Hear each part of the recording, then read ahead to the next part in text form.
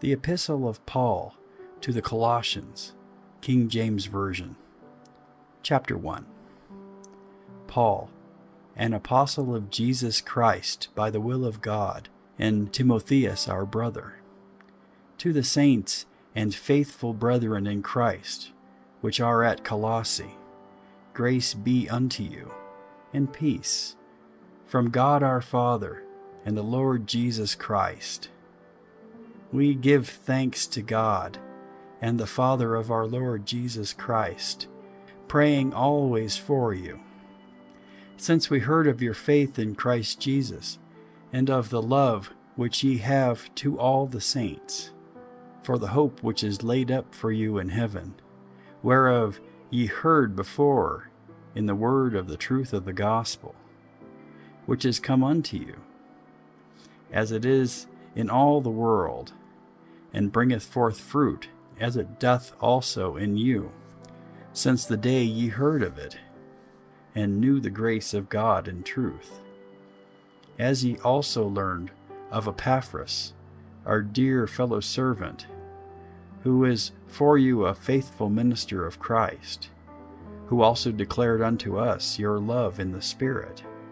For this cause we also, since the day we heard it, do not cease to pray for you, and to desire that ye might be filled with the knowledge of his will, in all wisdom and spiritual understanding, that ye might walk worthy of the Lord unto all pleasing, being fruitful in every good work, and increasing in the knowledge of God, strengthened with all might, according to his glorious power, unto all patience and long suffering with joyfulness, giving thanks unto the Father, which hath made us meet to be partakers of the inheritance of the saints in light, who hath delivered us from the power of darkness, and hath translated us into the kingdom of his dear Son, in whom we have redemption through his blood, even the forgiveness of sins, who is the image of the invisible God, the firstborn of every creature. For by him were all things created, that are in heaven and that are in earth, visible and invisible, whether they be thrones or dominions or principalities or powers. All things were created by him and for him, and he is before all things, and by him all things consist. And he is the head of the body, the church, who is the beginning, the firstborn from the dead, that in all things he might have the preeminence. For it pleased the Father that in him should all fullness dwell. And, having made peace through the blood of his cross, by him to reconcile all things unto himself. By him, I say, whether they be things in earth or things in heaven. And you, that were sometime alienated and enemies in your mind by wicked works, yet now hath he reconciled in the body of his flesh through death, to present you holy and unblameable and unreprovable in his sight, if ye continue in the faith, grounded and settled, and be not moved away from the hope of the gospel which ye have heard, and which was preached to every creature which is under heaven, whereof I, Paul, am made a minister, who now rejoice in my sufferings for you and fill up that which is behind of the afflictions of Christ in my flesh for his body's sake, which is the church, whereof I am made a minister, according to the dispensation of God, which is given to me for you, to fulfill the word of God, even the mystery which hath been hid from ages and from generations but now is made manifest to his saints, to whom God would make known what is the riches of the glory of this mystery among the Gentiles, which is Christ in you, the hope of glory, whom we preach, warning every man and teaching every man in all wisdom, that we may present every man perfect in Christ Jesus. Whereunto I also labor, striving according to his working, which worketh in me mightily. Chapter 2 For I would that ye knew what great conflict I have for you, and for them at Laodicea, and for as many as have not seen my face in the flesh, that their hearts might be comforted, being knit together in love, and unto all riches of the full assurance of understanding, to the acknowledgement of the mystery of God, and of the Father, and of Christ, in whom are hid all the treasures of wisdom and knowledge. And this I say, lest any man should beguile you with enticing words. For though I be absent in the flesh, yet am I with you in the Spirit, joying and beholding your order, and the steadfastness of your faith in Christ. As ye have therefore received Christ Jesus the Lord, so walk ye in him, rooted and built up in him, and stablished in the faith as ye have been taught, abounding therein with thanksgiving. Beware lest any man spoil you through philosophy and vain deceit, after the tradition of men, after the rudiments of the world, and not after Christ.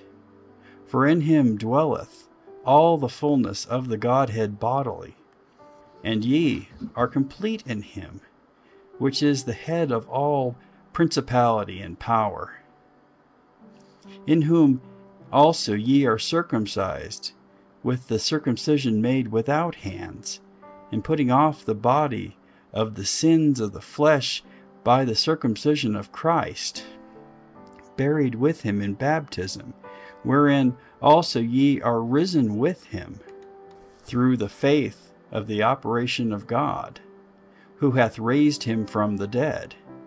And you, being dead in your sins, and the uncircumcision of your flesh, hath he quickened together with him, having forgiven you all trespasses, blotting out the handwriting of ordinances that was against us, which was contrary to us, and took it out of the way, nailing it to his cross, and having spoiled principalities and powers. He made a show of them openly, triumphing over them in it. Let no man therefore judge you in meat, or in drink, or in respect of an holy day, or of the new moon, or of the Sabbath days, which are a shadow of things to come. But the body is of Christ. Let no man beguile you of your reward in a voluntary humility and worshipping of angels, intruding into those things which he hath not seen, vainly puffed up by his fleshly mind, and not holding the head, from which all the body by joints and bands having nourishment ministered and knit together increaseth with the increase of God. Wherefore, if ye be dead with Christ from the rudiments of the world, why, as though living in the world, are ye subject to ordinances? Touch not, taste not, handle not, which all are to perish with the using, after the commandments and doctrines of men, which things have indeed a show of wisdom and will worship, and humility and neglecting of the body, not in any honor to the satisfying of the flesh. Chapter 3 If ye then be risen with Christ, seek those things which are above, where Christ sitteth on the right hand of God. Set your affection on things above, not on things on the earth. for ye are dead, and your life is hid with Christ in God. When Christ, who is our life, shall appear, then shall ye also appear with him in glory. Mortify therefore your members which are upon the earth fornication, uncleanness, inordinate affection, evil concupiscence, and covetousness, which is idolatry. For which things' sake the wrath of God cometh on the children of disobedience. In the which ye also walked some time, when ye lived in them. But now ye also put off all these anger, wrath, malice, blasphemy, filthy communication out of your mouth. Lie not one to another, seeing that ye have put off the old man with his deeds, and have put on the new man, which is renewed in knowledge, after the image of him that created him. Where there is neither Greek nor Jew, circumcision nor uncircumcision, barbarian, Scythian, bond nor free, but Christ is all, and in all. Put on, therefore, as the elect of God, holy and beloved, bowels of mercies, kindness, humbleness of mind, meekness, long suffering, forbearing one another, and forgiving one another. If any man have a quarrel against any, even as Christ forgave you, so also do ye. And above all these things, put on charity, which is the bond of perfectness. And let the peace of God rule in your hearts, to the which also ye are called in one body. And be ye thankful. Let the word of Christ dwell in you richly in all wisdom, teaching and admonishing one another in psalms and hymns and spiritual songs, singing with grace in your hearts to the Lord. And whatsoever ye do in word or deed, do all in the name of the Lord Jesus, giving thanks to God and the Father by him. Wives, submit yourselves unto your own husbands, as it is fit in the Lord. Husbands, love your wives, and be not bitter against them.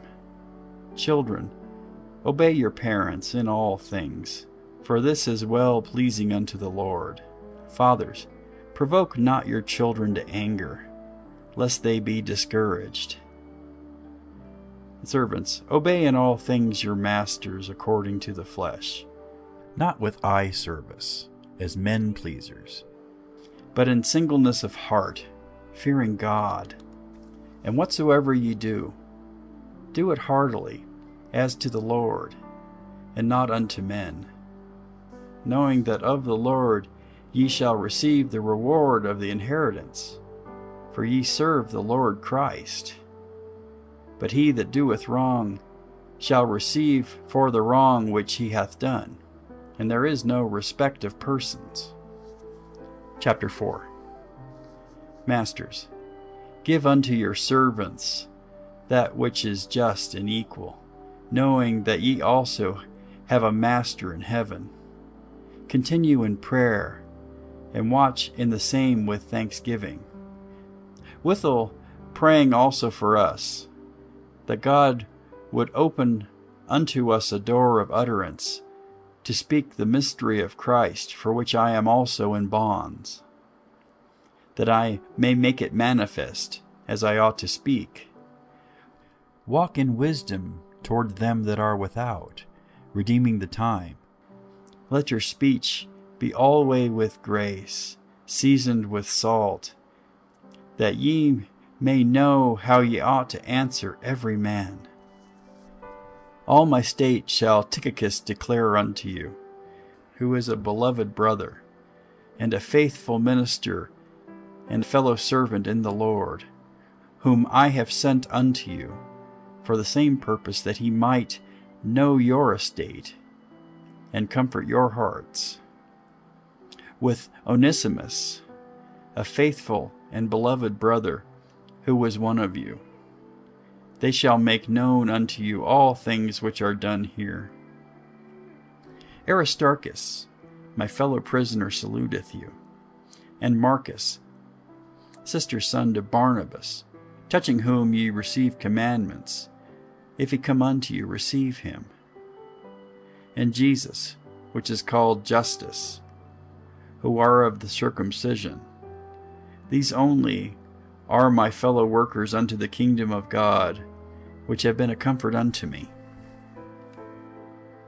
Epaphras, who is one of you, a servant of Christ, saluteth you, always laboring fervently for you in prayers, that ye may stand perfect and complete in all the will of God. For I bear him record that he hath a great zeal for you, and them that are in Laodicea, and them in Hierapolis. Luke, the beloved physician, and Demas greet you. Salute the brethren which are in Laodicea, and Nymphas, and the church which is in his house. And when this epistle is read among you, cause that it be read also in the church of the Laodiceans, and that ye likewise read the epistle from Laodicea and say to Archippus, Take heed to the ministry which thou hast received in the Lord, that thou fulfill it. The salutation by the hand of me, Paul. Remember my bonds. Grace be with you. Amen. End of Colossians.